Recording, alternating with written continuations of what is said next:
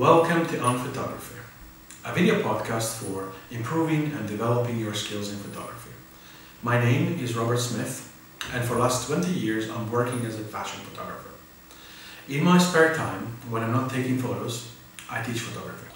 There are plenty of good videos out there teaching the theory of photography, how to use cameras, etc. This podcast minimizes that theory and focuses on immediately applicable and tangible results. Photography is both an art and a craft.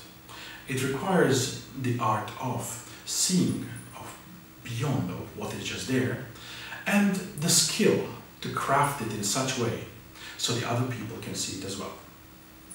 Some people are born artistic, others have developed it over time. But just like building a great violin, learning the craft of taking a great photo requires expert guidance and a lot of hands-on practice.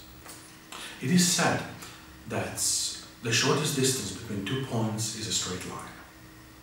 Now if that's true, then in order for you to take great photos, you have to start by taking any photos.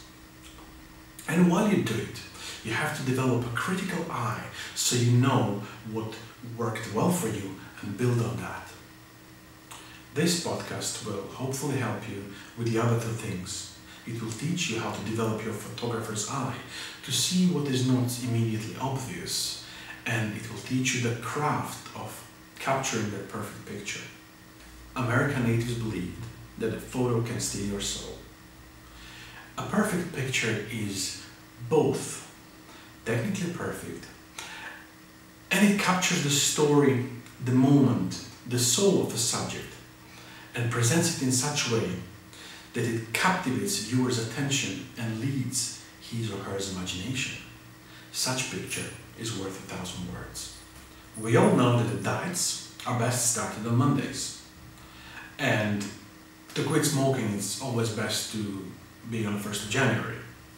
But to become a great photographer, it is best to start today, right now, right after you finish watching this podcast.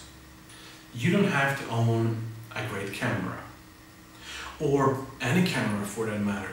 The quality of images of your mobile phone is several times better than what I started on 20 odd years ago. The first step, and by far the hardest step, is to start taking photos.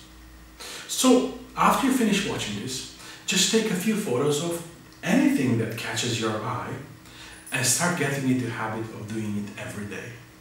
Meanwhile, I will work with you on improving those photos, making them technically perfect and teaching you how to tell a story.